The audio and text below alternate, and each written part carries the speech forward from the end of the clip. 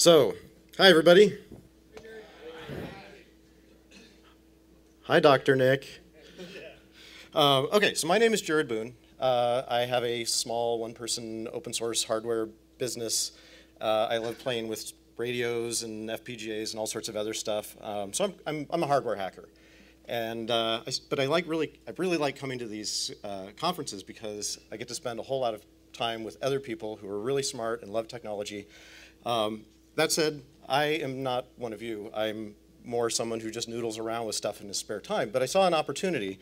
Um, I saw these uh, tire pressure monitors on cars, and I thought, well, these are interesting. I wonder, wonder what the implications of these are. And I, I looked around a little bit, and it turns out they're actually legislated by the U.S. government. Back in uh, the late 90s, there were some uh, tire blowouts, very high, high, high, profile, big media stories about uh, Firestone tires blowing up. And U.S. Congress, as they do, passed some very vague le legislation that said, yeah, we need to um, make cars monitor tire pressure so that if something bad happens, the driver knows and they can do something about it. And thus was born, over the course of many more years, uh, the tire pressure monitoring system. Um, it's a standard feature now on all cars sold in the US as of 2008. All of them are required to have it, so any, any new car you see driving around is going to have these tire pressure monitors. Um, as you can imagine, because these tire pressure monitors are attached to the wheels and the wheels spin around, they can't be wired to the car. It's kind of impractical, so they operate wirelessly. Um, and this is an example of a tire pressure monitor right here. Uh, if you go on eBay, there's tons of these things being sold on the open market. Uh, you can just buy some, um, have a look at them. I, I, just spent time pulling down eBay images and looking at the, at the photos. Uh, if you examine all the different varieties that you find on eBay, you find common features like 8-bit, or uh, sorry, 32-bit identifiers. Um, this is a 32-bit hex number, and they all seem to have 32-bit hex numbers printed on them. Uh, they also usually identify what frequency they operate in. Uh, in this case, 315 megahertz. There are also a bunch that operate in 433. Um, it turns out that it, it seems like US uh, and Japanese cars operate in 315, and European cars operate at, on 433 they all have FCC IDs because they all intentionally emit uh, radio signals.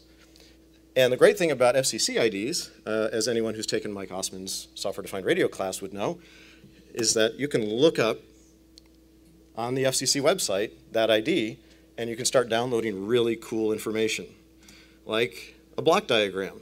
You know, it's not a particularly sophisticated block diagram. It pretty much tells you exactly what you expect. It's got a battery, um, of course, because it can't draw a battery from the car physically or mechanically uh, be attached. Um, it reads pressure, temperature, acceleration. It has a microcontroller and a radio. Uh, so basically on each tire on every new car, you've got four of these little radio transmitters. They look kind of like this. Uh, again, no surprises. There's a battery and um, there's a chip with a little hole in it up on the, on the left side that actually senses pressure. And then I think one of the other chips is an accelerometer. There's a chip antenna there. Um, the FCC documents also contain operational descriptions of how these devices work. We already knew that, that you know, these things run on 315 or 433 megahertz, but um, we get more details here um, as we page through the documents about exactly how they work. It appears they only operate while you're driving or in special cases while the car is still, ostensibly to preserve power. Uh, the battery's only going to last so long. Um, more information, it, it, sounds like they transmit on, on average maybe once a minute. They transmit very short bursts. Um, and if there's something wrong, they seem to up the transmission interval so that they can report more urgently whatever problem might be occurring on the tire. Digging further into the FCC documents, we see they use FSK modulation, very common modulation for very inexpensive wireless devices. And in another document, we find that the uh, frequency shift keying, or FSK, uh, deviation is 45 kilohertz, which is another useful piece of information. So I think it would be really interesting to receive tire pressure monitor signals and see what exactly is contained in the data that these things are transmitting. Easiest way to do that is to get yourself uh, a software-defined radio. Uh, an RTL SDR dongle goes for about 20 bucks if you buy them on eBay or, or find a, a, more reputable ven vendor. You can also use a HackRF, Blade RF, Noctar, any number of um, more expensive software-defined radios will receive these things no problem. Uh, you need an antenna. This is a really cheap little antenna that I got off of DigiKey, which works remarkably well considering it's only about this long. In fact, it's right here on the end, that guy. And lastly, I just, because I wanted to be fancy, uh, I built a little SAW filter board. Uh, what this is, is it, it just filters out a very narrow portion of spectrum, keeps just the 300, the, the signals around 315 megahertz and removes everything else. So if there's any interference from other nearby devices or FM radio stations, all that stuff goes away and does not interfere with the signals I'm trying to receive. So I take my setup, uh, RTL SDR dongle, the filter, the antenna, and I capture a really long chunk of data as I'm riding around in a car. Um, I think I spent about 20 minutes riding around and got about 9 gigs worth of data. So obviously, it's going to take a little while to pick through that, uh, I devised a custom tool which um, will be made publicly, actually just was just made publicly available about half an hour ago, um, that is used to look through all of the different bursts of uh, radio transmissions that you've received in your capture file and look for salient common features between all of them. Uh, I'll actually start that guy up here. Cut and paste, cut and paste. No, no, no, no, come on. And over to the other window, there I am. I can't even see that screen.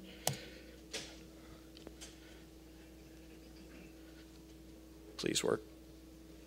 Oh, hey, it's on this screen. It's not where I wanted it.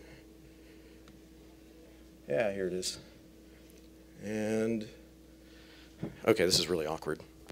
Well, the, the basic idea is that I can click through all the different files I've got here and I can see how they change, and I can adjust. Let's see, find a good one. No, no, no, no, there's a good one. Uh, I can swing the frequency spectrum back and forth and line up everything on a center frequency so that I can get really good demodulated data out. I still can't see it, so hopefully I did the right thing. Um, I've got some sliders here that allow me to tune and test what the um, bit rate of the data might be and see how if I can get a good eye diagram. Getting close there. And so with a bit of noodling around, I can identify the different parameters of a particular transmission. I can then take that data, and so for the, the data that I collected earlier that I'm going to be demoing with, um, I identified a modulation of FSK, or frequency shift keying. Uh, the carrier was at 30, uh, 53 kilohertz above the frequency I captured at, which was 314.95 megahertz. Uh, the deviation in frequency around that carrier frequency was 33,000. Um, symbol rate was 20.15 kilobaud, and there was a preamble of a certain bit pattern. Took all that data and typed it into this command line tool. Where's my mouse? Uh, okay. And what this does is it uh, instantiates a whole bunch of GNU radio blocks that are used to essentially de decode the raw packet, um, the raw spectrum data for each burst that I received into a bunch of raw bits. So these bits are ready to be processed, ready to be analyzed to figure out what sort of commonality might exist between them and what structures might exist. Uh, did it finish running? Yeah, good. So those raw bits are probably encoded with um, a technique, either um, Manchester encoding or differential Manchester encoding. The basic idea is that the, the signal needs to sort of jiggle up and down between one and zero frequently in order for the clock recovery system in the radio receiver to lock in on the individual bit positions. So they use this technique in order to recover that bit clock. So I'm going to just sort of speculate that this was encoded with Manchester encoding and run this tool which shows me across all of the packets that I received the distribution of the length of the packets before they became invalid Manchester streams. Basically, there's certain symbols in a, in a Manchester encoding that are invalid. And so as I decode a particular packet, if I reach an invalid symbol, I know that that must be the end of a packet. It's, it's kind of an assumption, but it works pretty well for trying to figure out what the average length of a packet might be. So if you look here, we've got a very, very strong ten, uh, trend at 70 bits. So I'm going to take 70 bits and put it back into my tool in a different mode and see what the bit st statistics are. Basically, for each bit in the packet, how many times were they a zero and how many times were they a one. And that will reveal interesting things like. Uh, right here, we've got, interesting, eight bits that are statistically about 50% one and 50% zero across all of the packets that I covered. And that would suggest that there's a CRC there. You know, CRCs, statistically, if, if you use them across semi-random packet data, you're going to get semi-random CRC values. And so I'm going to hazard a guess that those are actually CRC bits there. Now, you'll recall earlier when I showed you uh, photos of the TPMS sensors that they all seem to have 32-bit identifiers on them. Uh, I've got another mode for this tool, which will allow me to just test ranges of bits and see how many different values those fields contain. Did I? Ah, missed.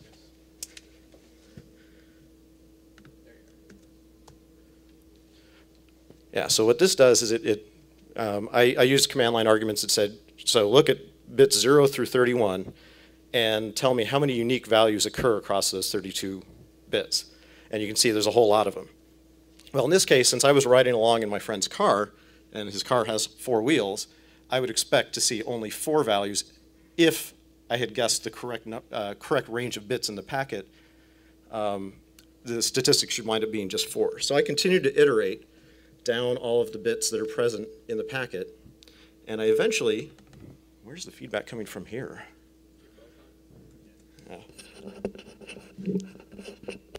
There we go. Hey, look at that. So if we go bits 21 through 53, 21 through, yeah, 21 through 53, 32 bits in the packet, we get exactly four unique values. So I would say that those are probably the four unique identifiers on this friend's car. Continuing on, uh, I start graphing those values. Um, I, have observed that the, in, on these tire pressure monitors, you've got um, typically an 8-bit alignment. Like the way these things are designed, they like working in bytes.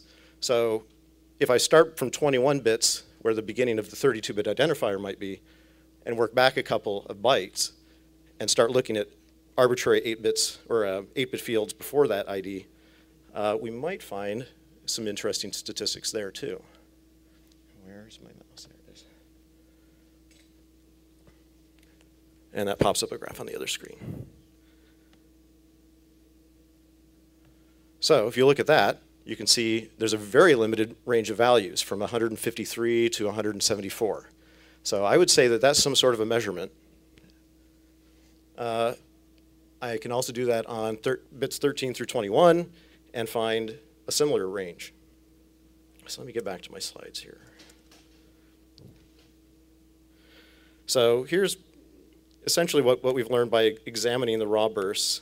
We've, we've gone through demodulation, um, converting the symbols into bits, doing some statistical analysis on the various bits, uh, and then started to break down the, what appears to be the packet structure. So here's the, the graph of uh, bits 13 through 20 and the um, CRC fields, that, uh, my speculated CRC field. Sure enough, there's a really good distribution if we graph it out. So let's say we want to figure out the CRC so that we can reject packets that we don't care about or that might be invalid or might be from a completely different car. There's a uh, neat little open source package that I found on GitHub called brute force-crc. Yeah. I got to get rid of this blasted window. There I am. Boom. Oh, come on. There we go. Did that paste? Oh, that's running.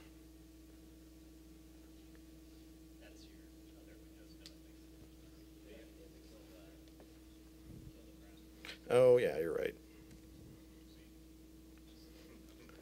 Probably. Yeah. I just have to find my mouse first. There we go. All right. So um, I dumped the Manchester decoded bits into a file, and then I kept only packet data that had occurred three or more times, so that so that I could reject packets that were probably that probably contained bit errors. If you have bit errors and you're trying to brute force a CRC, it's going to mess up the CRC guesses because the numbers aren't going to add up. Well, add up so to speak. So I'm going to run this through brute force CRC, and it's so fast. Um, when you're brute forcing an 8-bit CRC, it does not take much effort. But um, my guess that the CRC was computed from bits 5 to 61, and that the CRC was in 61 through 69 proved to be positive, and it tells me what the polynomial was and how to initialize the CRC. I proceed then to write a, just a little chunk of Python code that goes and graphs everything out all nice with the IDs that I identified and all the stuff I learned about the different fields and run that through real quick. Cool.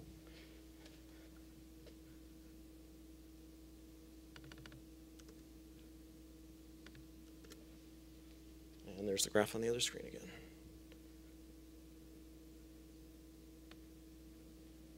Well, look at what we get.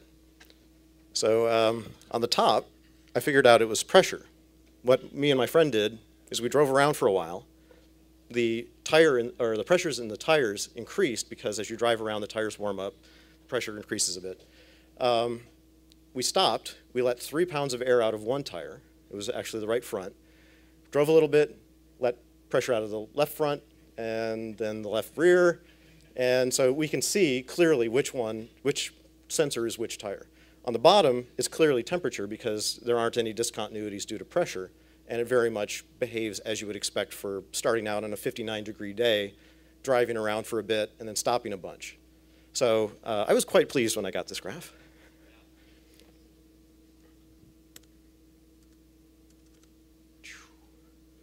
Okay, and so there we are. So there are a couple challenges in demodulating or uh, receiving tire pressure monitors in general, and that is that um, they all seem to be just a little bit different. There really isn't any industry standard other than I think because of FCC and, and other countries' um, spectrum allocations, they all seem to wind up on 315 megahertz or 433. Some of them use amplitude shift keying. Some of the, them, actually most of them seem to use frequency shift keying. The deviation uh, for FSK, the center frequency and bit rates all seem to vary just a little bit. The packet structures are different and the mechanism by which they compute the CRC or checksum varies. So what all this adds, adds up to is it's very hard to build a single software-defined radio demodulator and decoder that will do all of them. So what I think is really necessary if you want to be able to do all the tire pressure monitors that are out there is to do runtime signal characterization where you capture these bursts and then you analyze them at a much higher level and figure out what all these values are every single packet you receive. Uh, I've been working on that a little bit.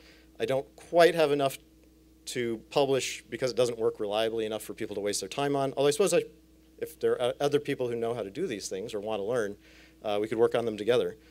Um, so what have we learned? I, I can sit at home and I can receive these tire pressure monitors from 30, 40, 50 feet away easily. The signals are very easily demodulated and decoded. Um, all you need is GNU radio and very simple software-defined radio techniques. The identifiers appear to be in the clear. Uh, a lot of the IDs that I've seen from a particular vehicle are actually in, in order. You know, they, they got sensor ID 3001, 3002, 3003, and 3004 on their car. Um, and they appear to be unique at least between uh, within a particular manufacturer of a sensor. It only takes about a $20 radio receiver and a laptop in order to receive these signals and process them. And if they decide they want to improve the security regime, because obviously this is not so great, they can't upgrade these devices because they're very simple little microcontrollers. There's no in the field update mechanism, nothing. And say, after saying all that, I think you know what all the implications are. We could sit around and make them up all day, but this is a 20 minute talk and, and you guys have very good imaginations. So how did the industry respond when they were called out on this about three years ago? They claimed, one of the major manufacturers claimed, that these devices were nearly impossible to track. Uh, it was nearly impossible to track a driver's location. And their arguments were the signals were weak, and that there were 147 different protocol implementations, and you couldn't possibly build 147 different receivers to receive all of them. And that it was expensive to deploy trackers because the paper that they were responding to three years ago was using fairly expensive software-defined radios, and they figured, well, software-defined radios are expensive, right? Well, I think in the last year it's been proven that software-defined radios are not expensive, not hard to use, are readily available and are a big threat to devices like these. So what should we do? Um, the industry doesn't seem particularly interested in the implications of these devices. They seem to be just giving the standard arguments. So if you're interested in this subject, get uh, an RTL SDR, HackRF, or other software-defined radio. Get my code, which I put up on GitHub about an hour ago, and jump in somebody's car capture some signals, use the software to decode it, and contribute back what you've learned to the project. And here's a my, actually the best reference for the entire paper, or for my entire talk, and this is a great place to read up if you want to know a lot more detail about how TPMS works and the specific privacy implications. So, any questions? No? Go ahead Have you tried forging any packet data and transmitting? I have not. Um, this all kind of. Oh yes. Uh, have I tried forging any of these? I would love to. Uh, one, I don't own a TPMS device or a car myself, and I don't want to destroy other people's in the event that I do do something awful. Although chances are it wouldn't be permanent. Um, but I would love to, given the right circumstances, and given what I've shown, it should be trivial. Sure, let's talk. Okay, cool. Mr. Ryan. Do you know if any of the packets are variable length? Is there a length field anywhere in there? Are any packets that I've seen variable length? I have seen none that appear to be variable length. Um, they almost, I can't think of an example where they haven't been eight bytes, plus or minus eight bits. Um, I've seen a lot of them. I've only decoded about three manufacturers worth of, of sensors, and there may be variations within a particular vehicle manufacturer, but so far I haven't seen any variability at all. Did you uh, see any other cars when you were driving around that got any of their signal? Definitely, um, but I kind of went with the statistical probability that I, I wanted to go and, look at just the data for a particular vehicle so that I could extrapolate from there what the fields might be. Um, eventually, I think this project will evolve to the point where you can just sit on a street corner and pull in any car that might be going by because we'll have enough knowledge about all of the different encodings, modulations, and all that. Mike? Uh, I can't say with authority because a lot of it's been casual, but I have been 30 or 40 feet from the street, uh, and it's a fairly slow street, 30, 30 miles an hour is probably the prevailing speed, and I've received lots of TPMS packets in that situation. And sometimes multiple packets over the course of 10 or 15 seconds. If the car was passing, you, you know, kind of consider your trigonometry and figure that there, there were some additional number of feet between one, one transmission and the other transmission, so certainly 30 or 40 feet, no problem. Was that from inside the house? Yes. Uh, I was using this exact setup, and yeah, it was from in, inside the house.